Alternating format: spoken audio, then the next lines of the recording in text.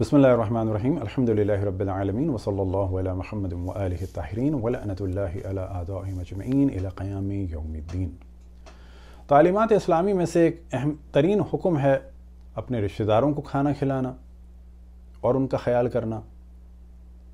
गरीबों को खाना खिलाना और उनका ख्याल करना। और इसी तरीके से अपने दीनी भाइयों को खिलाना और उनका ख्याल करना।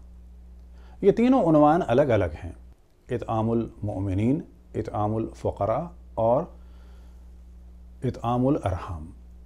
अब उमूमन जो लोग नहीं जानते सही इस्लाम को, वो फ़ौर वेलफेयर का मौजू ले आते हैं। मिसाल के तौर पर अगर किसी के रिश्तेदार सब के सब बहुत ही मालदार हों, क्या उन्हें खाना खिलाने का सवाब है? कहा जाएगा बिल्कुल सवाब है रिश्तेदारी निभाने और रिश्तेदारों के एहतराम के उनवान से। क्या अपने दीनी भाइयों को खाना खिलाने का सवाब है? चाहे वो कितने ही मालदार क्यों ना हो तो कहा जाएगा बिल्कुल सवाब है और ये एक ख़ास उनवान है। आया गरीबों को खाना खिलाने का सवाब है, बिल्कुल सवाब है। वो एक अलग उनवान है। अब अगर ये तीनों उनवान एक ही जगह शामिल हो जाएँ कि खाने का अहतमाम किया जाए, रिश्तेदार भी आएँ, बरदरान दीनी भी आएँ और साथ ही ज़रूरतमंद भी आएँ तो कहा जाएगा नूर अला नूर। बस तमाम दुनियाएँ तशैयों में, चाहे ईरान हो, इराक़ हो, शाम हो, लबनान हो बहरान हो और फिर चाहे हिजाज़ में मदीना हो या इसी तरीके से कतीफ़ व ऐसा और ख़बर दमाम हो बहरैन हो, इंडिया हो, पाकिस्तान हो, हर जगह आपको रस्म मिलेगी कि खाना पकाना और मुख्तलिफ़ अनावीन से चाहे वो गम के हों, चाहे वो खुशी के हों, उनमें खिलाना। उन्हीं रसूम में से एक रस्म है कि जो ईरान में बहुत ज़्यादा है और मुख्तलिफ़ इलाक़ों में भी है, वो है इमाम हसन सलाम का सफ़रा या दस्तरखान। असल जो मौजू में डिस्कस करना है कि इन चीज़ों के लिए कोई डेट नहीं है।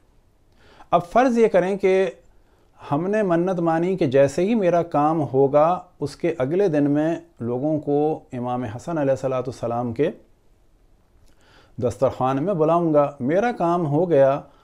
फ़र्ज़ की बात यह है कि इक्कीस जमातुस्सानी को तो मैंने बाईस को बुला लिया। ये भी हो सकता था कि मेरा काम हो जाता।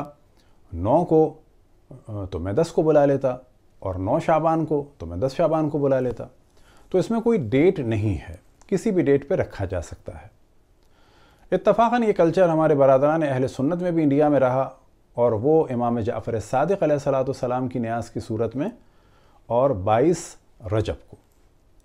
ईरान में भी मुख्तलिफ़ दिनों में ये सफ़रे होते हैं खसूस पंद्रह रमज़ान और इसी तरह से दीगर और तारीख़ों में।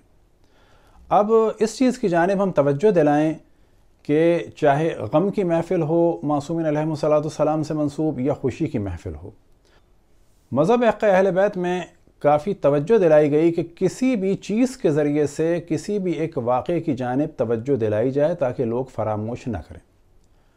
लिहाजा जब पाकिस्तान में देखने में आता है कि इमाम हसन सलाम के दस्तरखान में सब चीज़ें हैं तो बाज़ लोग जो अपने आप को समझते हैं कि बहुत ही बकरात हैं और बड़ी उनकी मालूम है तो कहते हैं कि ये फजूलियात हैं। ना, फजूलियात नहीं हैं। हाँ ये कहा जा सकता है कि इसका हुक्म इस सूरत में, कुरान या हदीस में नहीं है। अब मुमकिन है कोई कि अगर हुक्म नहीं है तो फिर जायज़ नहीं है। ना, ये बिल्कुल गलत है। कुरान और हदीस में हुक्म नहीं है तो इसका मतलब है कि ये जायज़ है। अगर हुक्म ना करने का होता, यानी मना किया होता तो फिर यह होता। लेकिन इसमें जब एक हुसन पैदा हो जाए और एक पॉजिटिव चीज़ आ जाए और वो है अमर आयमा सलाम यानी आयमा सलाम से मंसूब किसी चीज़ की याद ताज़ा हो जाए। वो याद क्या है? तो दो तरह की रवायात हैं इतफ़ाक़ से अहल सुन्नत में भी हैं कि जब लिबास आए जन्नत से इमाम हसन इमाम हुसैन के लिए तो इमाम हसन का सब्ज़ था और इमाम हुसैन सलाम का सुर्ख था। कि जिसकी वजह थी कि इमाम हसन सलाम को जहर दिया जाएगा और इमाम हुसैन सलाम को कत्ल किया जाएगा और आखिर वक्त में एक के जिस्म का रंग सब्ज़ी माइल हो जाएगा, यानी सब्ज सा हो जाएगा और एक के जिस्म का रंग सुर्ख होगा। बिल्कुल इसी तरह से एक रिवायत है कि जब महराज पे रसूल अल्लाह सल्लल्लाहु अलैहि वसल्लम तशरीफ़ ले गए तो वहाँ पर दो उन्होंने घर देखे कि एक ज़बरजत से था कि जिसका रंग हरा था और एक याकूस से था कि जिसका रंग सुर्ख था।